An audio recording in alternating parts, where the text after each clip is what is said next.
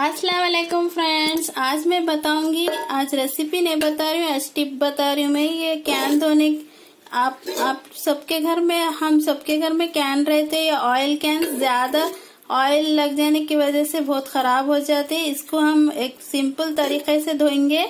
इसके लिए मैं टू टेबल स्पून गेहूँ का आटा ले ली।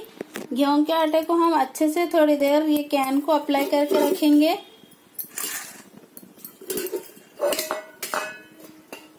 थोड़ी देर हम कैन को ऐसा अप्लाई करके रख दे लेंगे गेहूँ का आटा। इससे पूरा ऑयल पूरा आ जाता है। ये कैन के ऊपर जितना भी ऑयल लगा, वो आटा पूरा खींच लेता है इसको ऑयल पूरा। उसके बाद जल्दी क्लीन हो जाता, ज़्यादा लगड़ लेते, बैठने की ज़रूरत नहीं पड़ती, जल्दी क्लीन हो जाता इससे। आप लोग भी एक बार ऐसे ट्राई कीजिए। आप लोगों को भी ये टिप अच्छी दिखी तो कमेंट्स में बताइए। थोड़ी देर हम इसको अप्लाई करके रख डालेंगे कैन को।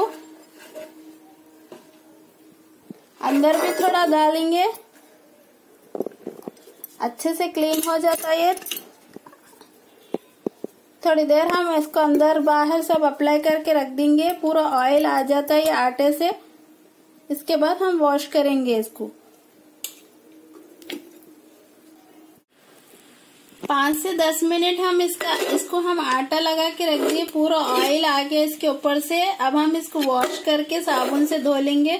बहुत इजी मेथड है ये। आप लोग भी एक बार ट्राई कीजिए। बहुत जल्दी क्लीन हो जाते ऑयल कैंस ऑयल कैंस है तो जल्दी क्लीन हो जाते या प्लास्टिक के बॉटल्स में भी डालते ना, उससे, उसको भी आप लोग क्लीन कर सकते ये गेहूँ के आटे से बहुत जल्दी क्लीन हो जाता। अब हम इसको वॉश कर लेंगे एक बार। पानी से वॉश करेंगे इसको हम।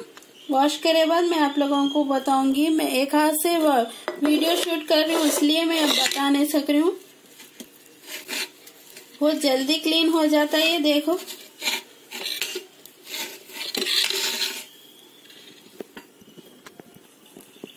एक साइड में पानी से क्लीन कर ली, ऐसा पानी से खाली पोछली में इसको बहुत जल्दी चले गया ऑयल पूरा इसके ऊपर का। अब हम इसको पूरा धो लेंगे। अच्छे से क्लीन हो गया ये कैन कुछ भी ऑयल नहीं है इसके ऊपर अब।